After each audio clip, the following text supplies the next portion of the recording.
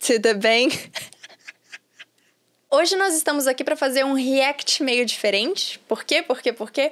Porque eu gravei alguns conteúdos lá para minha outra rede e eu achei interessante comentar sobre vários aspectos por aqui. É o seguinte, eu perguntei para alguns gringos, amigos meus, o que, que eles achavam sobre o Brasil, o que, que eles sabiam do Brasil e tudo mais, e postei nas minhas redes sociais. Só que o vídeo ficou com mais de um minuto, e aí não dava para eu postar aqui. E aí eu postei na outra rede e pedi pro pessoal deixar outras perguntas para eu gravar outro vídeo, que na verdade acabaram rendendo vários outros vídeos. E é isso que a gente vai ver aqui hoje. As perguntas que foram feitas, como eles reagiram, o que eles falaram, e vamos ver como isso vai ser útil pra gente. E claro, né, se você já não deixou o seu like, clica aí, deixa o seu joinha, também se inscreva no canal se você é novo por aqui e ative o sino de notificações para você receber todas as novidades do canal. Tudo bem? Então bora pro react. E não achem estranho porque eu vou aparecer com outro visual, porque eu vou gravar isso no outro dia, tá? Faz parte. E pra gente aproveitar direitinho esse react, a gente vai primeiro assistir o vídeo e depois eu vou comentar a cada trecho que eu acho que é importante, porque daí fica mais, né?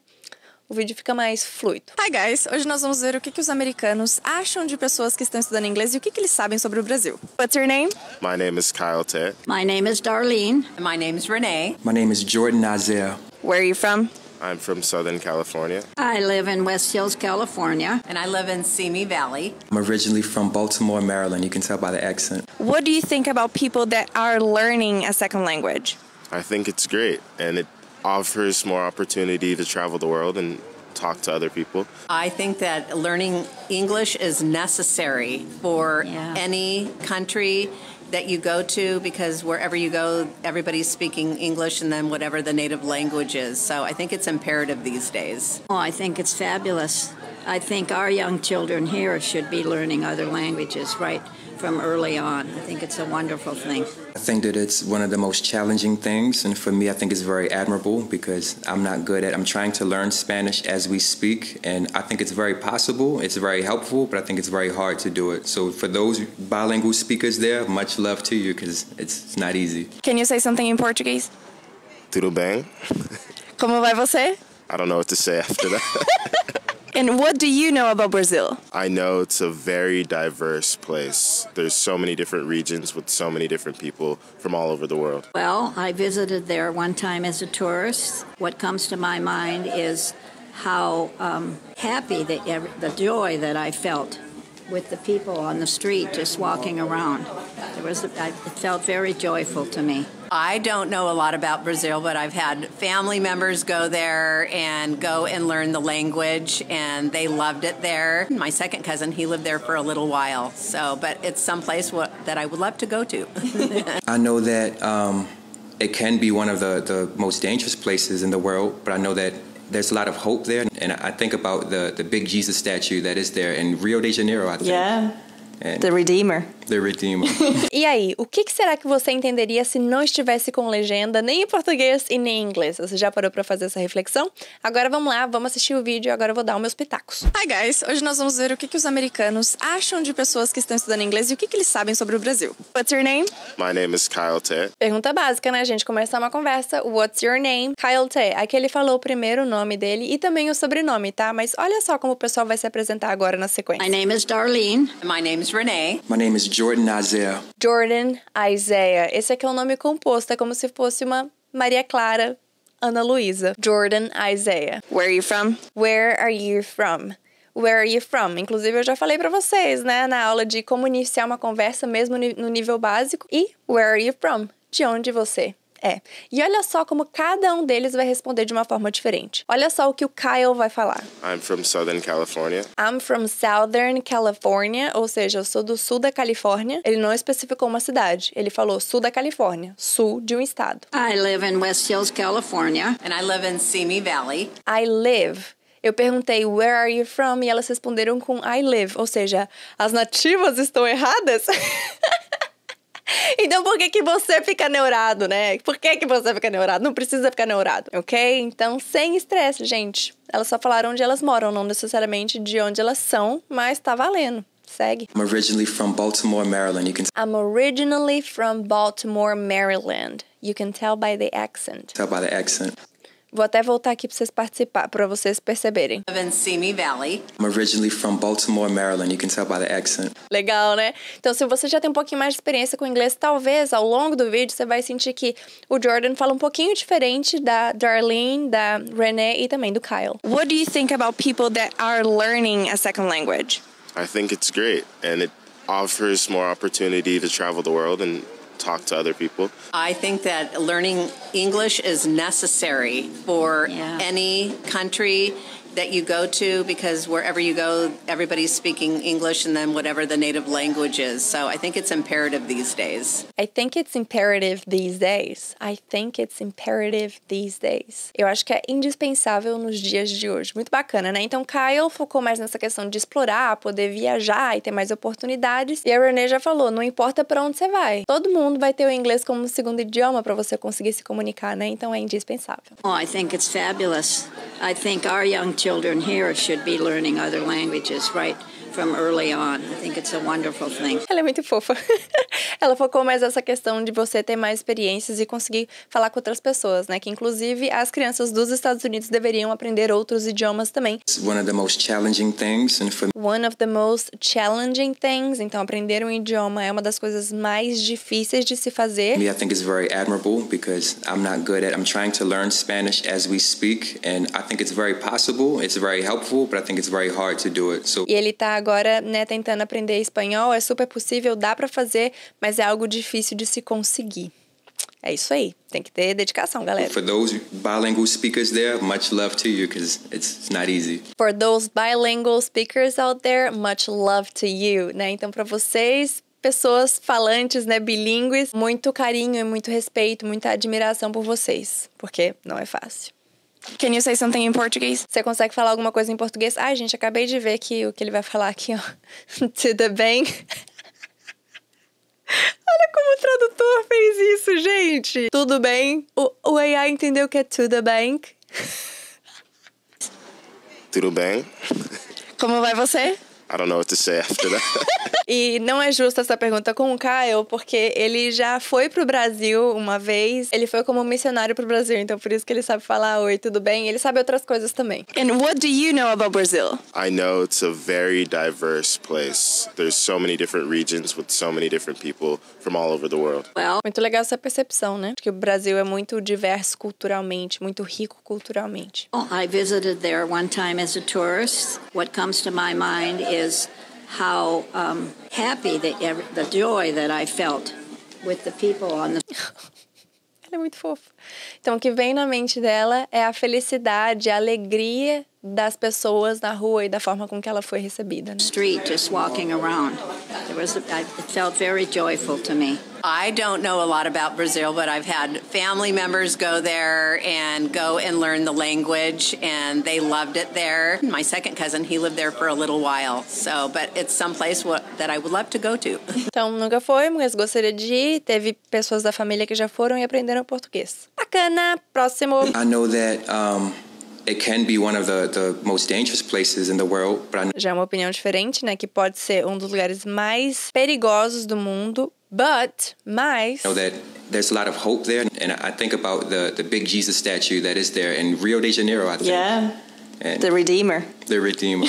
Então ele falou: Ah, eu sei que tem muita esperança lá, né? A percepção dele. E também ele falou: The Big Jesus Statue, ou seja, a grande estátua de Jesus. Ele não sabia o nome exato, mas ele sabia o que representa. Então, assim, é aquele negócio que eu sempre falo pra vocês. Talvez você não sabe um termo específico, uma palavra específica, mas você sabe explicar de outra forma. Foi exatamente isso que ele fez. Vou até voltar pra vocês verem. Know that there's a lot of hope there. And I think about the, the big Jesus statue that is there in Rio de Janeiro, I think. Yeah, And the Redeemer. the Redeemer.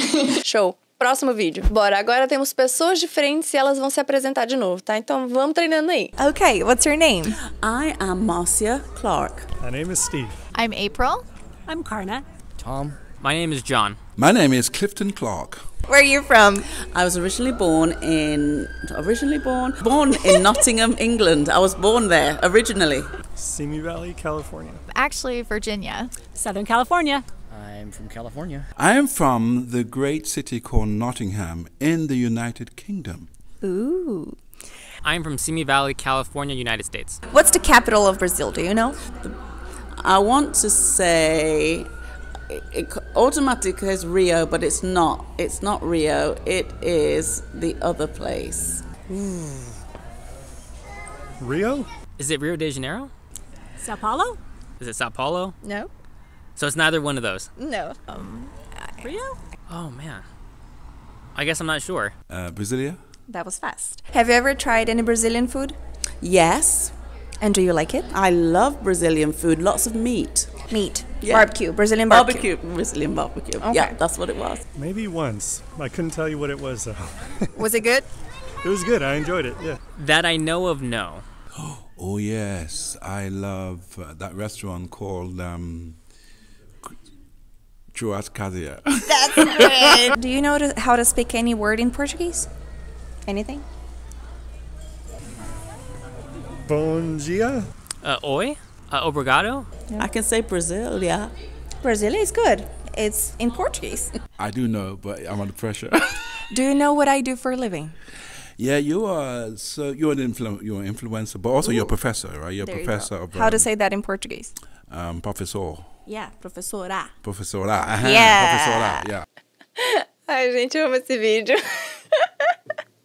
Agora vamos voltar aí com pitacos. Okay, what's your name? I am Marcia Clark. I am Marcia Clark, então não tem nenhum problema você usar separado. Você não precisa usar o I am contraído como I'm. Mas, My name is Steve. My name is Steve. Então, resposta mais completa. Meu nome é Steve. Próxima. I'm April. I'm April. I'm April. Aqui sim, tá contraído, beleza. I'm Karna. I'm Karna. Tom. Tom. Não falou nada. então, a gente tem todas as opções aqui. My name is, I am, I'm. E só o nome. My name is John. My name is Clifton Clark. Nome e sobrenome. Where are you from? I was originally born in. Originally born. Gente, ela se pegou perguntando: será que você tá certo? I am originally born. Ou seja, eu nasci de verdade, ou seja, minhas origens são, né? E ela se perguntou: nossa, mas será que isso aqui tá redundante? Foi esse, esse foi o questionamento dela, né? Porque se é originally, quer dizer que é onde você nasceu, né? Tipo assim. Mas ela seguiu e ela enfatizou essa estrutura que ela usou, então tá tudo certo. Born in Nottingham, England. I was born there originally.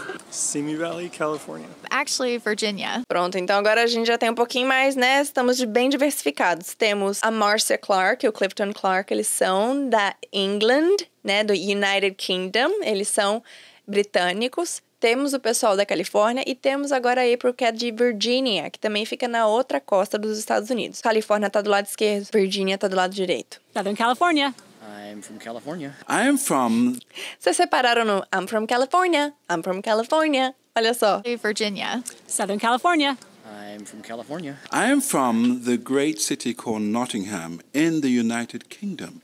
Ooh. All right. I'm from Simi Valley, California, United States. Aí temos cidade, estado e país, entendeu? Entendeu? What's the capital of Brazil? Qual que é a capital do Brasil? Do you know? I want to say. It, it, automatic is Rio. Aqui ela falou automatically is real, tá? A legenda automática tá errado. Automatically is real. Então olha só como ela fala automatically. Automatically. Por conta do sotaque dela, né? Mas também você poderia falar automatically. Automatically. Então automaticamente ela pensa no Rio, mas Rio, but it's not. It's But not it's Rio. not. It is the other place. é um outro lugar. Rio? Is it Rio de Janeiro? Sao Paulo? Is it Sao Paulo? Não? So it's neither one of those. Não. Olha essa estrutura que legal. So it's neither one of those. Então não é nenhum dos dois. So it's neither one of those. And I said no. Não é nenhum dos dois. Não é nem Rio, nem São Paulo. Rio? Oh man. I guess I'm not sure. I guess I'm not sure. Bom, eu acho que eu não tenho certeza. Eu acho que eu não sei. Brasilia? That was fast. Have you ever tried any Brazilian food? Have you ever tried any Brazilian food? Então veja bem essa estrutura que eu usei. Isso aqui é present perfect. Você já tentou, já experimentou comida brasileira? Ou seja, de toda a sua experiência de vida até o presente momento, você já experimentou? Mas é algo que pode mudar. Você pode vir ainda a experimentar a comida, certo? Não é uma ação que já está terminada. Não é que nunca mais você pode experimentar, ok? Então por isso que eu não perguntei. Eu poderia ter perguntado, tá? Did you try Brazilian food? Não estaria errado. Não estaria errado, eu só tô tentando te ensinar qual que é o uso do presente perfeito, tá? Conecta o passado, todo o seu passado, até o presente momento. Então não é algo que começou e acabou no passado, como é o uso principal do Simple Past, tá? Tem aula tudo para vocês aqui embaixo, tudo o link tá aqui embaixo. Yes. And do you like it? I love Brazilian food, lots of meat. Meat. Yeah. Muita carne. Barbecue, Brazilian barbecue. Barbecue, Brazilian barbecue. Então, ó, churrasco brasileiro a gente chama de Brazilian barbecue. Porque aqui nos Estados Unidos, por exemplo, se você fala barbecue, eles vão fazer tipo assim, um hot dog e um hambúrguer. Sendo que o hot dog é só a salsicha com pão e o hambúrguer é o, a carne com filete, assim, um quadradinho de queijo e o pão. Ai, gente, esse povo tem que andar nas ruas de São Paulo para experimentar um dogão prensado com purê de batata que tem na, na frente das, da faculdade. Amava no meu break aí, gente. Nossa, era o meu luxo. Dava as aulas, pegava um dogão, subia pras aulas. Yeah, that's what it was. Maybe once. I couldn't tell you what it was. Maybe once. Maybe, talvez uma vez só. But I couldn't tell you what it was, though. Mas eu não consigo te falar o que que era. Na real, né? Então, olha só esse though no final da frase, né? Basicamente, ele tá falando que sim e depois ele tá negando, né? Então, ah, sim, mas eu não consigo te falar o que que era, sabe? Então, esse though é para dar essa confirmada. Se vocês quiserem uma aula só sobre o though, comenta though aqui embaixo que eu trago para vocês. Lembrando que tem uma aula já falando de várias palavras que tem TH e que geralmente a gente tem dificuldade de pronunciar. Então, se você quiser também, eu vou deixar o link aqui embaixo na descrição. So Was it good? It was good. I enjoyed it. Yeah. That I know of, no. That I know of, no. Então, você já experimentou comida brasileira? That I know of, no. Então, que eu saiba, não. Então, ele não se lembra se ele já experimentou comida brasileira ou não. Vocês conheciam essa? That I know of, no. Oh, yes. I love uh, that restaurant called um, A jogadinha de ombro, gente. Churrascaria. Do you know to- how to speak any word in Portuguese? Anything? Já perguntamos da capital, já vimos se eles experimentaram algum tipo de comida brasileira, agora se eles sabem falar alguma coisa em português. Bom dia. Uh, oi? Uh, obrigado? I can say Brazil, yeah. Brazilian is good. It's in Portuguese. I do know, but I'm under pressure. Do you know- Olha só essa frase, volta aqui. I do know, but I'm under pressure. Mas eu sei sim, mas eu estou sob pressão, né? Então olha aqui o do usado numa, numa frase afirmativa, né? Pra enfatizar. I do know. Sim, eu sei sim, mas eu estou sob pressão. I'm under pressure. Do you know what I do for a living? Então eu perguntei pra ele, ah, você sabe o que, que eu faço? Porque lembrando, gente, todas essas pessoas que eu falei aí são pessoas que eu conheço, tá bom? yeah, you are. So you're an influ- you're influencer. Aqui também a legenda tá errado. You are an influencer, então você é uma influenciadora, vai, ele, porque ele sabe que eu tenho as minhas redes sociais, ele sabe que eu tava gravando isso para as minhas redes sociais, mas ele sabe que eu sou professora, né? So you're an influ- you're an influencer, but also you're a professor, right? You're a you professor go. of How to um, say that in Portuguese? um, professor. Yeah, professora. Professora. Yeah. Professora, yeah. Ai, gente, eu amo esse vídeo. Toda vez que eu assisto, eu curto pra caramba. Próximo vídeo. Agora nós vamos ver o que, que os gringos acham, qual que é a reação deles quando eles escutam um sotaque. E aí, tem problema você ter sotaque? What's your reaction when you hear an accent? Everybody has an accent. To me, it shows them that they've taken a lot of effort to, to learn a new language. Living in America, everybody says, I have an accent. But I keep telling them they have an accent. Everybody has an accent. It's just, and I love accents to hear when pe- where people come from. I think it brings diversity, it brings richness, and it brings just a global village, and I love it. I love it, especially your accent. Really? Mm-hmm. Oh, yeah. Although you're becoming more and more British American. British. Uh, it's pretty neutral. All sometimes I do think it's funny. Um, although I would assume all you know nations think it's funny when someone tries to speak their language. So sometimes uh, I find humor in it, but otherwise neutral. I I get excited actually because then it means maybe they're not necessarily from here and I'd like to learn more about them.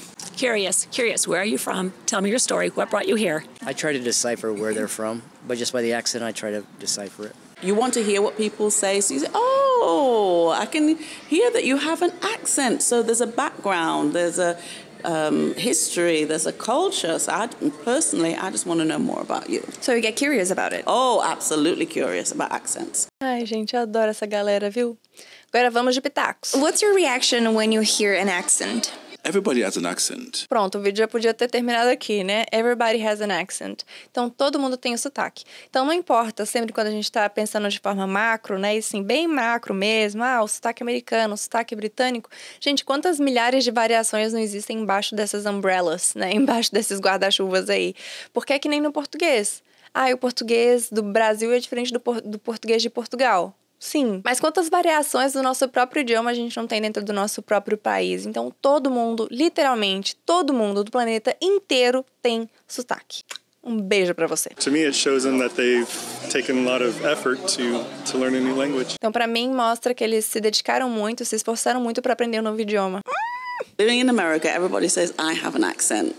But I keep telling them they have an accent. Everybody has an accent. Então, ela morando hoje nos Estados Unidos, todo mundo fala que ela que tem um sotaque, porque ela vem de um país diferente, sendo que teoricamente o inglês surgiu de onde ela veio. Aí ela brinca que eles têm um sotaque, mas enfim, é só brincadeira. Todo mundo tem sotaque. It's just and I love accents to hear when pe where people come from. I love accents to hear where the people come from.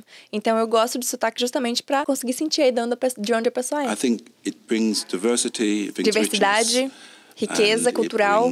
Just a global village, and I love Global it. I love village. it. Especially your accent. Really? Mm-hmm. Oh yeah. Although you're becoming more and more British American. Aí ele fala, ah, eu gosto de sotaque, especialmente o seu. Aí eu falei, sério? Ele falou, aham. Especialmente porque agora você tá ficando cada vez mais britânica-americana, né? Porque eu convivo muito com eles, então tem coisa que eu falo mais British. E eu falo, e eu vivo aqui nos Estados Unidos, então assim, né? E eu aprendi inglês americano também. Enfim, gente, adoro. Uh, it's pretty neutral. All sometimes I do think it's funny. Um, although I would assume all you know nations think it's funny when someone tries to speak their language. So Então ele falou: ah, pra mim é neutro, mas eu entendo que pra todas as nações deve ser engraçado quando alguém tenta falar o, o idioma, né, daquele país. sometimes uh, I find humor in it, but otherwise neutral. Então, sometimes I find humor in it. Então, às vezes eu, eu acho engraçado, mas se não, tô neutro. I get excited actually because then it means maybe they're not necessarily from here. Então ela falou: ah, eu fico bem animada porque não necessariamente eles são daqui. Então veja bem, sotaque pode ser daqui, mas às vezes não necessariamente eles não são daqui. And I'd like to learn more about them. To learn more about the person, ela quer aprender mais, conhecer mais a pessoa. Curious, curious, where are you from? Tell me your story. What brought you here? Olha essa sequência de perguntas. Curious, curious, where are you from? Where are you from? Tell me your story. What Tell me your story. brought you here? What brought you here? Então, de onde você é? Me conta sua história, o que te trouxe aqui.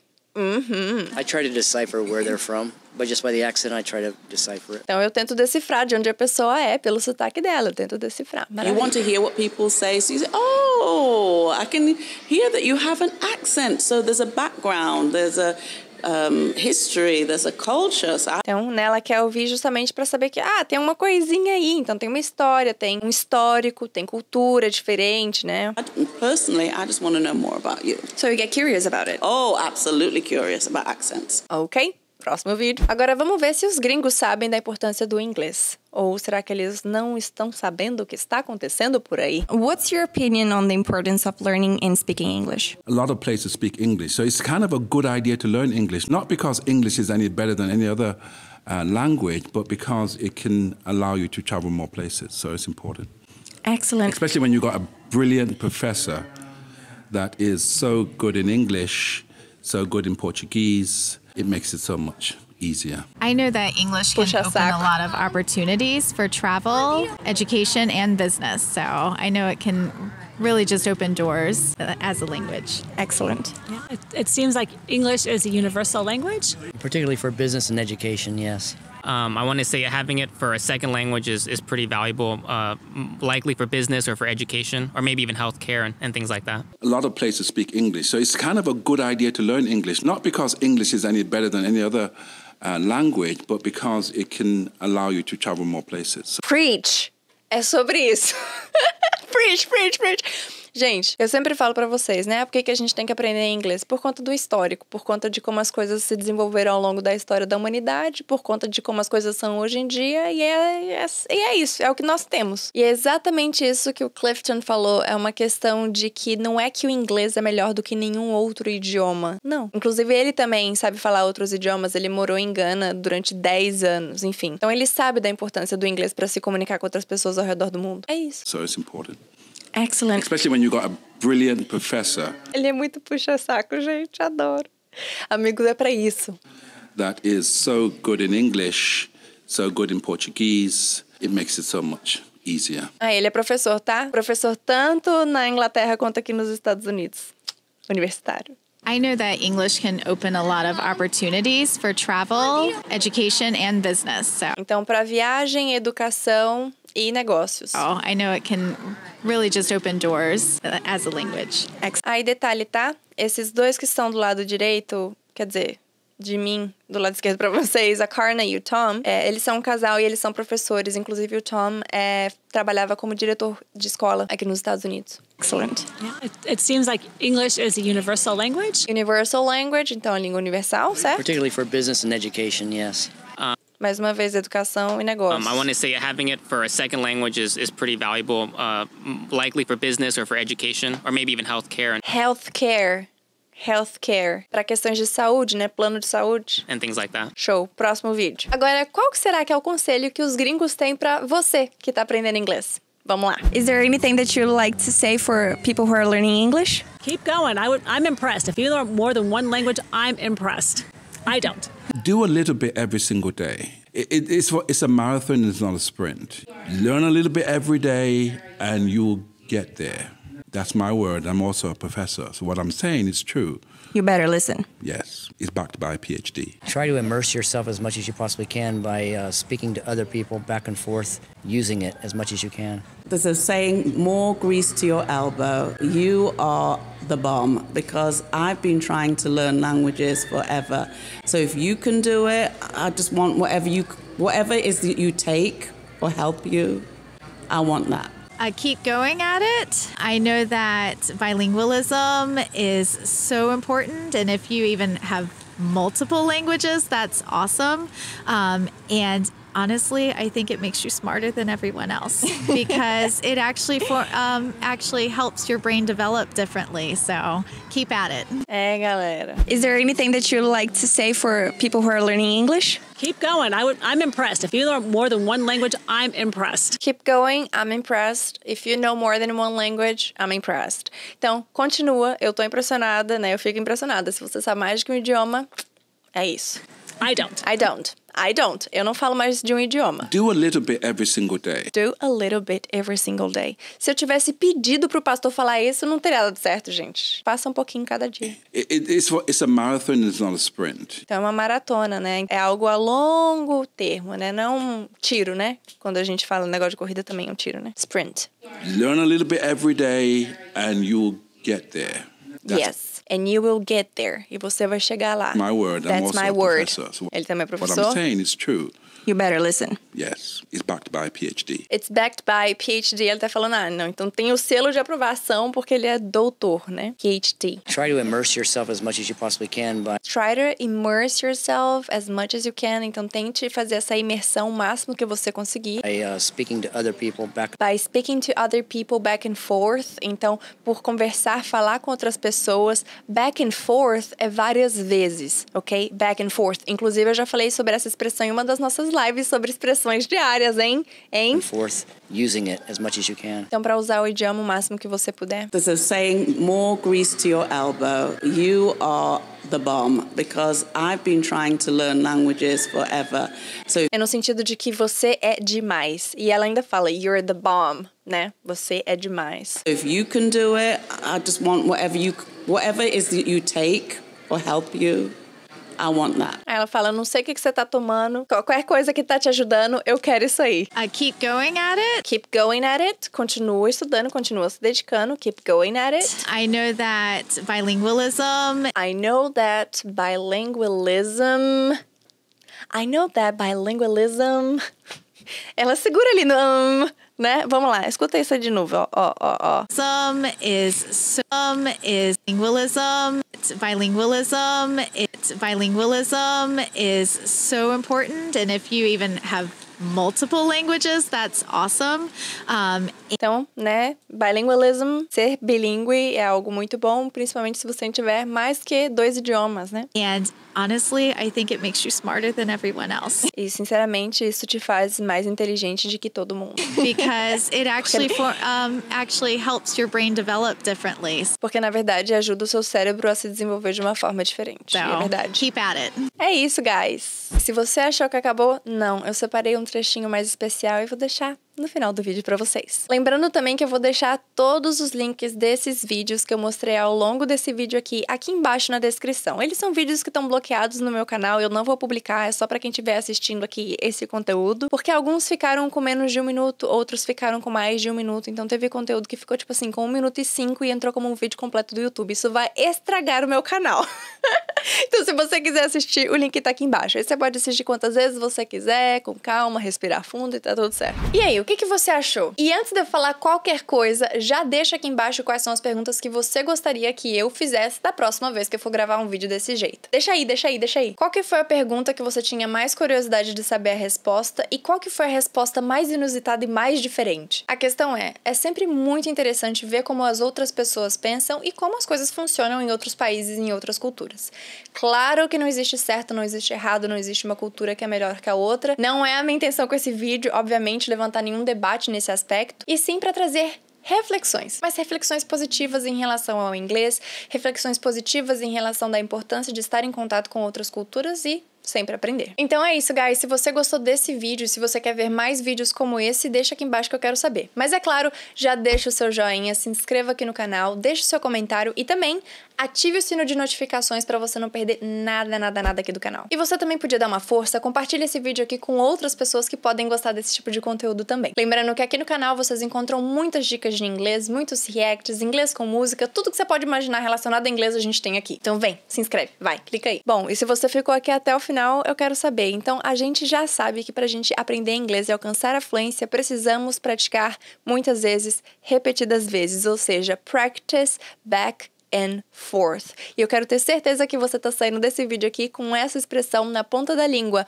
back and forth, algo que você faz muitas vezes, back and forth. So we're gonna practice back and forth. Ficou aqui? Practice back and forth. Beleza? Então fica agora com os bloopers. Do you want to join us, Tom? What's that for? It's for my social media about English. Get Join behind- us! Oh. Okay. Thank you. Welcome. Thank you, Steve. You're welcome. Thank you, Pastor. Thank you guys so much. That was so nice. Thank you. You're welcome. Okay. Thank you, John. Thank you. Thank you so much for joining me today and I hope to see you on the next one. Bye.